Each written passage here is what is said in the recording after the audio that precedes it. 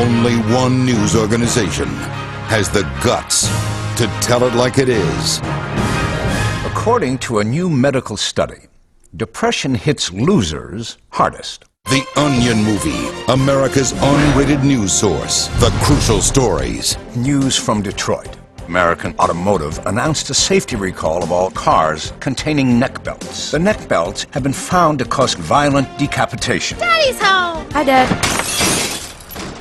The essential interviews. Melissa Cherry is America's biggest pop sensation.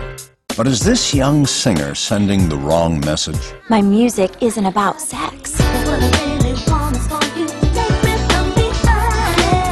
The fundamental concerns. Congress passed legislation restricting smoking within U.S. borders to a single room in Des Moines. Smokers from across the country are making the long journey to the 10 by 10 Smokers Lounge in Iowa. Move the car, you old bitch! And the hard hitting movie previews. Master, how did they defeat me? They used an ancient technique that strikes at the very core of a warrior's strength. You, my young pupil, shall become a cock puncher. Steven Seagal is Cock